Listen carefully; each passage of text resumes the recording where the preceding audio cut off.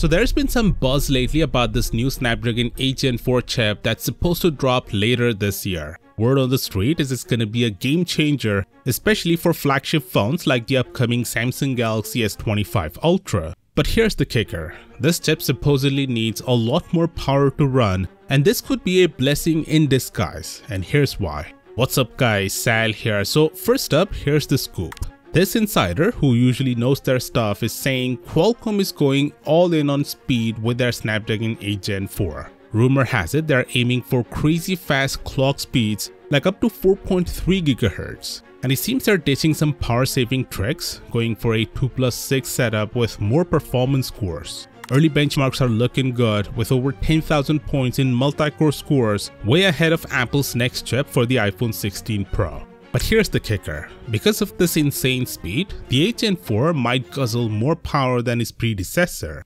Translation? The usual batteries, like the 4000 to 5000 mAh ones, might not cut it anymore. We're talking about needing bigger batteries if you want battery life similar to the S24 Ultra. And here's the interesting bit. The tipster mentions that the phone makers are already looking into beefing up battery sizes for their upcoming flagships, aiming for a whopping 5500 mAh or even 6000 mAh.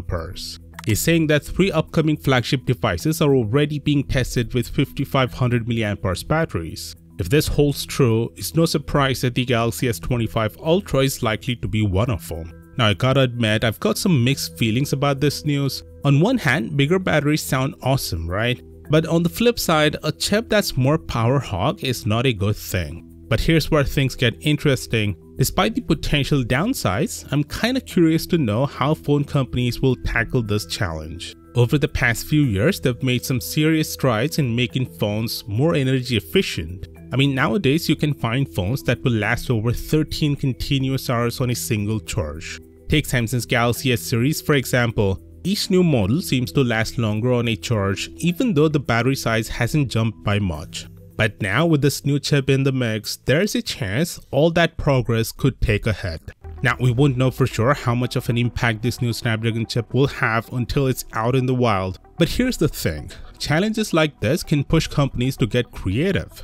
Maybe we'll see some cool new battery tech come out of this. The tipster mentions that they're testing high density batteries which could mean we might finally get that stacked battery tag that was once rumored for the S23. For those unaware, stacked batteries are a new tag already in production. They allow for 10% bigger batteries without increasing their volume. So imagine fitting a 5500 mAh battery into the same space as a 5000 mAh one. It fits perfectly with this rumor, but for now, let's take it with a grain of salt until we get some solid evidence. So yeah, hearing that the next big chip might drain our batteries faster isn't exactly music to our ears. But hey, progress is all about facing challenges head on, right? And who knows, maybe this new chip will be the kick in the pants phone companies need to step up their battery game. Let's just hope the phone companies don't drop the ball on this one. Now Samsung is teaming up with Google to bring even more cool features to the S25 Ultra. Click here to know more and I'll see you there.